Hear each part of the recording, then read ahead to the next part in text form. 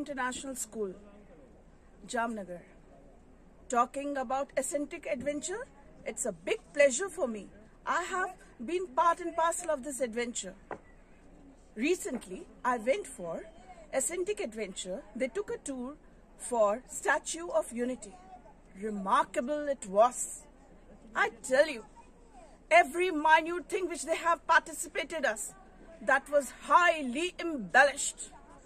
Talking right from the bottom, if I'm talking about their dormitory, everything was well planned.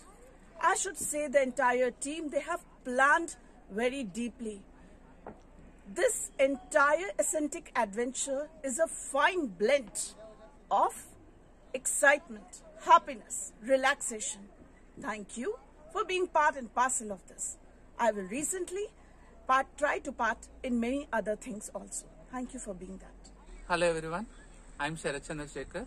I am working as a manager in Nayara Energy Limited, Jamnagar. I have visited with Ascentrek Adventures to Statue of Unity tour. It was a two-day tour. First day we visited Statue of Unity and second day today we visited Zoo and this butterfly garden. Now we are standing beside dam. It was a great experience. I had visited with my family. There are so uh, there are around group of 30 to 40 people everybody has enjoyed the trip. It was a wonderful trip, and I thankful this to this uh, Ascentrek adventures for giving this opportunity for sharing this feedback also. Thank you all.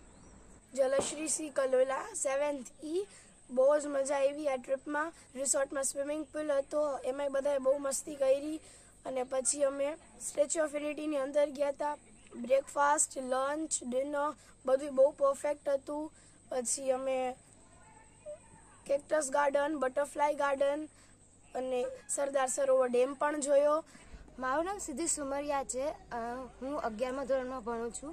હું જામનગરથી આવેલ છું અને અહીંયા મારું first time છે અને એસેન્ટ્રેક સાથે મારું ત્રીજી વાર જોડાઈ છું અને લંચ અને વ્યવસ્થા બધી બરાબર હતી અને આપણે અહીંયા સ્ટેચ્યુ ઓફ યુનિટી જોયું.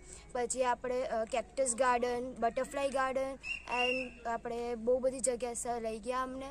અને મેનેજમેન્ટ બહુ મસ્ત હતી. જમવાનું બધી અને વ્યવસ્થા રહેવાની ને બધું બહુ મસ્ત.